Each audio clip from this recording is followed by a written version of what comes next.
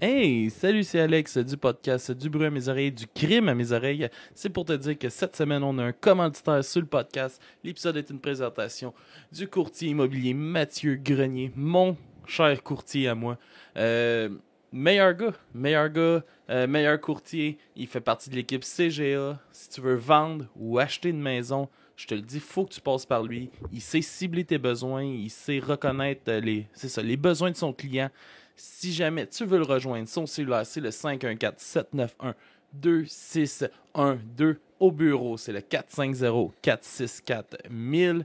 Et euh, vous pouvez aussi le rejoindre par courriel à info.votrecourtier at gmail.com. Les bureaux sont au 170 rue Serge Pépin à Belleuil. Pour de vrai, si vous voulez faire affaire avec une équipe de feu, allez voir l'équipe CGA. Essayez de pogner Mathieu parce que c'est le meilleur de l'équipe. Moi, je vous le dis.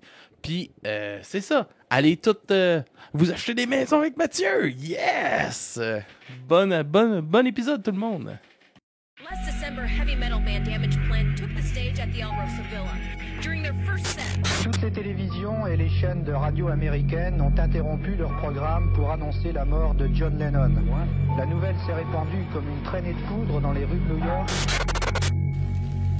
Tupac Shakur dead in Las Vegas, ironically, on this Friday, the 13th.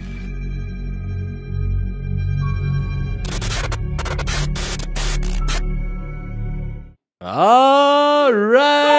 du crime à mes oreilles! Cette semaine, l'histoire de Joe! pas payé pour ça. T'es pas payé tout. Alright! On va vous présenter un peu. C'est Alex, comment ça va Ça cette va, toi? semaine? Ça va, toi? Ça va, ça va. Énergisé. Toi, monsieur, le stagiaire d'amour. Hey. Moi, je te lance du love à la place de la haine. Oui, hey, c'est spécial ça. Mais euh, ouais, non, cette semaine, ça va aussi bien qu'il y a 45 minutes. Parfait. Aussi bien qu'un dégât d'eau. Yes. Hey, on est avec aussi notre nouveau poulain! Pouliche Daphné! Salut.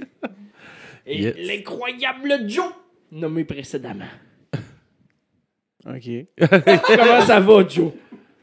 correct. Je pensais que ça allait aller mieux depuis que c'est moi qui anime. Je sais pas, j'ai l'impression, c'est comme si j'avais de la glace dans le cul qui frotte, qui me déchire l'intérieur. Bon, on va maintenant plus tranquille. Bon, bon, bon, yes, sir. Bienvenue à Du crime à mes oreilles, comme le dit si bien Mystérieux Mystère. Bienvenue à toi, Mystérieux. Merci. Comment tu vas? Ah, ça va bien, ça va bien. Tu fais un couple de voyage temporel euh, ce temps-ci? Oui. Ouais, t'es allé où? Oh, j'étais dans le temps de Mozart. Mozart, oh. s'est déjà fait arrêter, lui. Ah ouais? Il avait viré une méchante cuite, s'endormi dans la rue. Prison, Mozart! What a bad boy! ouais, le bad boy, il est sorti. Fait le que lendemain. Joe, il a sorti le lendemain. Ben, c'est Mozart! Ben oui, c'est ça. Yes, sir. Joe, de quoi tu nous parles cette semaine? C'est toi qui nous présente dans l'épisode. Euh, je vais parler du lugubre personnage qui est Gary Glitter. Et pour le présenter, ben, je vais citer une chanson des Rolling Stones de 1968. I don't care that you're 50 year old. I don't want to see no Heidi. Une chanson de Stray, Stray Cat Blues. on, met, on, on met les notes comme ça. On commence, là. Alors. Je pensais que la pire chose que tu voulais dire, c'est j'ai de la glace dans le cul qui me gratte. Mais tu pas- te dépasses tout le temps. Pas- C'est pas moi qui dis, c'est les Rolling Stones. moi, j'ai rien dit. J'ai cité les Rolling Stones. Je me tiens loin de ça. Fait que Gary Glitter, sombre personnage. euh, je, je sais pas si tu, peux les- si tu vas avoir mis la photo ou pas de ce personnage ignoble. De son vrai nom, Paul Francis Gabb est un auteur, compositeur, interprète britannique né le 8 mai 1944 à Banbury, dans l'Oxfordshire d'Angleterre. Il connaît le succès il dans les années 70, à la même époque que David Bowie. Il était rempli de paillettes, faisait un rock, comment je pourrais dire, son rock, sa seule tune que j'ai connue de lui, c'est... T'as hâte que je la chante, hein? Tan, tan, tan, tan. Hey! Tan, tan, tan, tan, Hey! C'est la seule chanson qui, en fin de compte, s'appelle Rock and Roll Number 2. J'ai, honnêtement, j'ai rien entendu d'autre de lui. J'ai, en plus, j'ai- regardé un peu ses albums, 1972, Glitter, aucune idée. 1973 est venu un peu m'accrocher avec Touch Me. Je resté juste à Touch Me, je l'ai même pas écouté. Euh, en 1975, il a fait Gigi. Je sais pas si c'était pour Good Game, si ça existait déjà dans le temps. Ah, je pensais que c'était Gigi Allen. Oh, ça aurait été bon, ça. 1975, euh, 1977, Silver Star. 1984, Boys Will Be Boys. Et 1991, Leader 2. Je sais même pas s'il y a eu un Leader 1. Et 2001, On. Fait qu'on voit que il y a eu une bonne succession dans les années 70. Il a connu une bonne popularité. Après ça, il y a une petite pause, 84. Après ça, une petite pause, 91. Puis après ça, une et pause jusqu'en 2001. J'imagine qu'à un moment donné, il voguait un peu sur le fame. Puis il a fallu qu'il repaye certaines choses. Fait intéressant à propos de la musique de Gary. En 95, Oasis utilise le sample de la chanson Hello Hello I'm Back Again pour la mettre dans une de leurs chansons qui s'appelle juste Hello. Mais tout ça a été mis sur l'album What's, What the Story Morning Glory, qui a été vendu quand même 22 millions d'exemplaires à travers le monde. Gary, il voulait, je pense, toucher un petit peu à son argent là-dessus. Fait que, euh, il a, il a, en fin de compte, il a poursuivi Noel Gallagher pour plagiat. Et j'ai pas trouvé s'il avait été dédommagé, mais j'ai l'impression que oui, qu'il a été dédommagé. Pourquoi t'as cette impression-là, Monsieur Joe? Parce qu'en fin de compte, je l'ai pas entendu chialer après. Ah bon. Fait que d'après moi, il a eu son argent, il a été heureux, puis il a pu continuer sa petite vie tranquille de Gary Glitter. Euh, fait en fin de compte, qu'est-ce qui nous intéresse, nous, au crime aux oreilles? C'est le petit côté Oh sorti non, de il la connaît même pas le nom Non, du podcast ça. comme du monde. Ah non! Non. Ah, non. Mais puis c'est même pas en finlandais. Prochaine fois, je vais le dire en finlandais. Désolé, désolé pour le pic. là. Das crime at my oreilles. Fait qu'on va y aller tout de suite au croquant. On réessaye-tu le nom du podcast une dernière fois avant d'aller au croquant? Ben, le crime à mes oreilles. Le crime à mes oreilles, ça part. Suivez-nous sur du Crime à mes oreilles. C'est pas grave, t'es pas payé, Noé. Exactement. Fait que, au croquant, en 1997, Gary est arrêté au Royaume-Uni pour téléchargement. Je vous laisse deviner. De pornographie juvénile? Un point pour Mysterio. Oh! Il passe quatre mois seulement en prison pour ça. Ce qui est, je trouve, léger. Tu un mois par petite fille. Bon, peut-être. Hmm. Mais comme c'est pas... Spécifié. c'est pas Un mois par euh, gigabits. Oh, désolé. Je vais monter un peu le micro. Qui redescend. Fait que je vais me pencher un petit peu comme ça. Euh, la ta, ta, ta, ta. Il a été relâché à mi-peine et ensuite il s'enfuit à l'étranger. Ils savent pas où exactement. Ils supposent Cuba, mais l'important c'est qu'il a passé par Cuba pour se rendre là, au Cambodge. On va laisser placer les choses. Ça reflète beaucoup avec ta feuille. Non, non, non. Ah, pour ça. Désolé. Fait il s'en va au Cambodge, où, à la suite, il est soupçonné d'abus sur mineur. Il est contraint de quitter le Cambodge. Encore une fois, c'est pas clair, mais s'il est soupçonné, puis il prend la fuite parce que quand tu as été un homme et tu as des problèmes, qu'est-ce que tu fais? Tu les fuis. Sauve. Deux points! il est fort, il est fort! C'est la technique parfaite du stagiaire. ça. Se sauver. Encore là! Encore là. Restez dans le déni. Il a fait son Restez dans, le déni. En 2002, après s'avoir enfui du Cambodge, il décide de s'installer au Vietnam. Ah, j'aurais guessé la Thaïlande. Ouais, moi. Moi aussi, étrangement, je sais pas pourquoi. Oh, boy. Euh, évidemment, rendu au Vietnam, ben, il est arrêté. Encore? Il est arrêté encore, condamné en mars 2006 à trois ans de prison ferme pour abus sexuels sur... Mineur. On commence à l'avoir. Comment ça là? Deux Vietnamiennes de 10 et 11 ans. Oh! Parce qu'on aime les détails, hein, David? Ouais. Le chanteur qui a toujours clamé son innocence sort de prison le 19 août 2008. Euh, fait cocasse à propos de son temps au Vietnam, c'est le Sun, un journal à potins d'Angleterre, aurait sorti des photos de lui et de sa femme qui avaient l'air borderline 20 ans, si elle n'était pas plus jeune, et avec sa petite fille illégitime. Mais encore une fois, c'est The Sun qui est un journal fort en potins. Pas de preuve, on ne le sait pas exactement. Le fait important, c'est le 28 octobre 2012. Il est arrêté dans le cadre de l'affaire Jimmy Salville. Je reviendrai sur ce personnage. Le 27 février 2015, il est condamné au Royaume-Uni à 16 ans d'emprisonnement pour acte de... Pédophilie. Yes, c'est à mon tour d'avoir les points. Oh non, j'allais dire agression sur mineur. C'est pas la même chose. C'est une bonne question si c'est la même chose ou pas au point de vue juridique, s'il y a certaines nuances qui viennent différencier. Ben, agression, ça peut être plus large, là. Genre, je t'ai attaqué. Ah, ok, ouais. violé. Violé. Ok, parfait. Fait que notre personnage a toujours vécu un peu sur son fame et c'est celui. En fin de compte, euh, c'est un peu comme Jerry Lee Lewis, on a vu. C'était une rockstar, puis ça lui permettait de pogner euh, des, des jeunes demoiselles. Ce qui me rend un peu mal à l'aise. Toutes, toutes les demoiselles cambodgiennes de 11 ans, tu veux dire?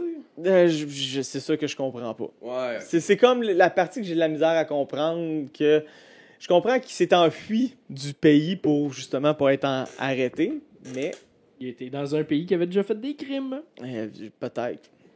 Ben, peut-être. Il se fait arrêter dans ce pays-là pour des crimes sur des. Il a fait des crimes. Ben, Ben, à toi de me dire s'il est coupable. C'est ça, ma tête à moi. Ouais, moi aussi, mais peut-être per- certaines personnes, personnes vont venir à sa défense. Allegedly. Mais c'est pas moi qui vais aller à sa défense, étrangement. Surtout pas après que je vous ai parlé de son ami, Jimmy Salville. Alors, comme vous savez, il a été arrêté en 2008 à cause des faits de Jimmy Salville. Euh, James Wilson Vincent Salville. J'ai de la misère à dire Salville. Des fois, j'ai l'impression que je vais dire Salvaille parce que c'est un peu anglais, mais ça pourrait être euh, mal compris pour euh, un autre personnage qu'on connaît, peut-être du même Salville. Fait qu'on restait à Jimmy Salville. Il est né le 31 octobre 1926 Dieu merci. En Angleterre et mort dans la même ville 29 octobre. J'adore de cette joke. Que il est mort dans la même ville de sa naissance le 29 octobre 2011.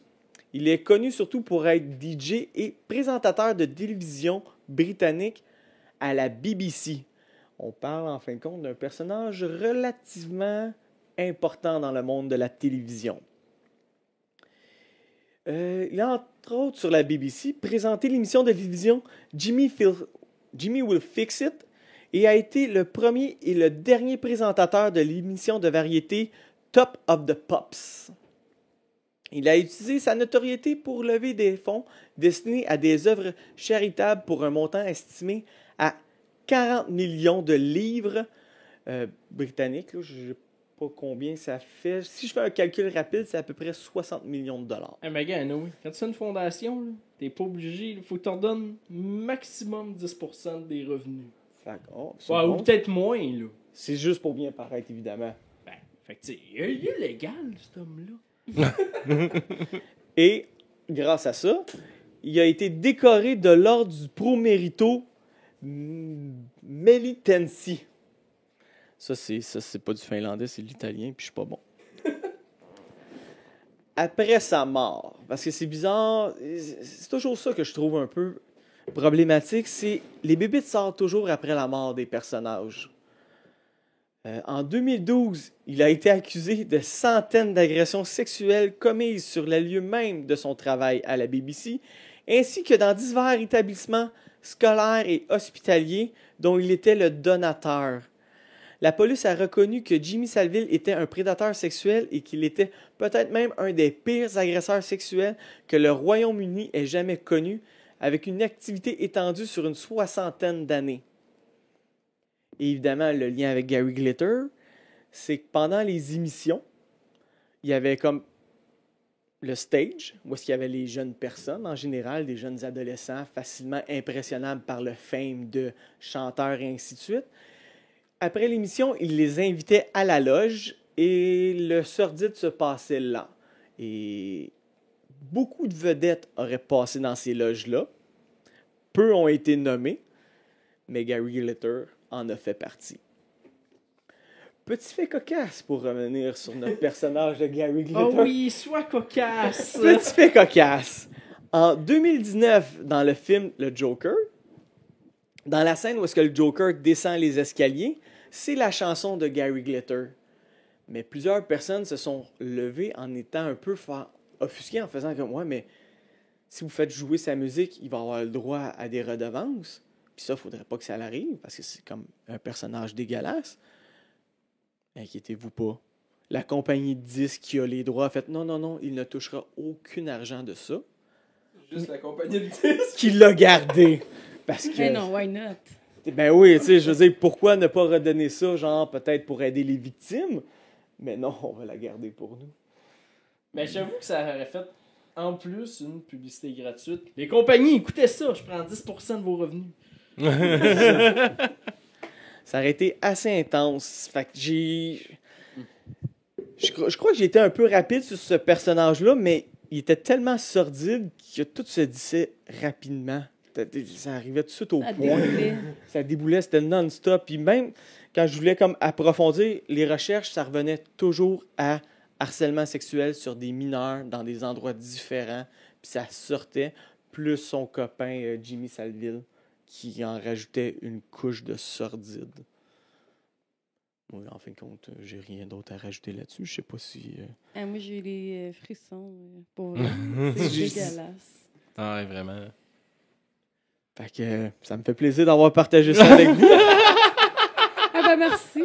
Mais le pire, c'est que l'intérêt des mineurs aux les artistes qui ont des intérêts pour les mineurs, c'est que c'est c'est pas nouveau en partant, mais c'est pas terminé non plus. Mm.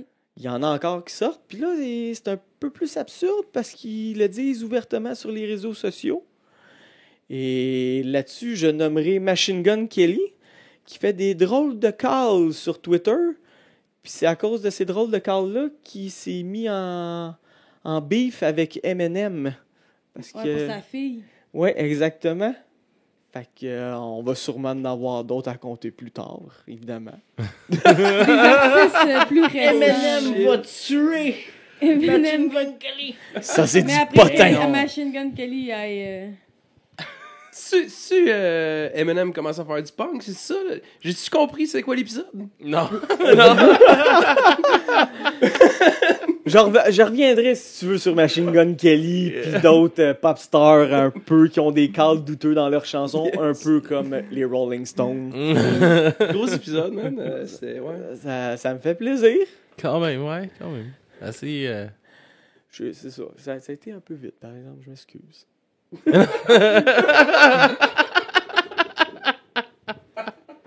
Mais si tu veux, on continue à tourner, puis euh, tu tu nous parles de Machine Gun Kelly encore. Ben, c'est ça, j'ai deux, trois trucs, mais j'ai pas, j'ai pas développé non plus. Ok. Fait que Tu vas faire tes recherches, puis tu nous reviens avec Machine Gun Kelly. Exactement. Tu nous parleras de. Megan Fox en même temps. Je parlerai de Megan Fox. Ben, C'est ils sont sa pas femme? avec. Ouais, mais femme, elle, elle est pas mineure. Non? Oh non, ben. Hey, Aucun euh, intérêt. pose l'information, nous autres, on pose des questions, là. Ben, aucun intérêt sur Megan Fox si elle est pas mineure. ça sonne pas vraiment mieux que ce que je viens de dire. par exemple. Alright. Alright. Et merci, Joe, aussi, pour ton, ton court épisode, mais à ma foi, très terrifiant. plaisir. Yes. Non, euh, Mysterio, est-ce qu'on peut nous suivre? Hey, suivez-nous sur Facebook, Twitter, Instagram, TikTok. Sur TikTok, c'est pas pareil. Mais là, faut tout nous suivre sur du bruit à mes oreilles. Je sais que c'est mélangeant. Ouais. C'est mélangeant. C'est du crime à mes oreilles. Mais c'est parce que Le plus important, mes du oreilles- bruit à mes oreilles.com. du bruit à mes oreilles.com parce que du crime à mes oreilles est une production de Du bruit à mes oreilles, esti. Patreon, mais là, hein, hein, Patreon, tout le monde. Twitch, tabarnak. Puis, euh, c'est ça, suivez, suivez Sour Lemon sur Twitch.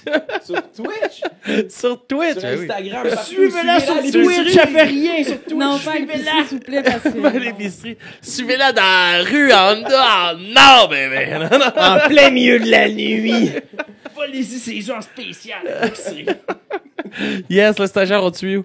Euh, on me suit. F.label!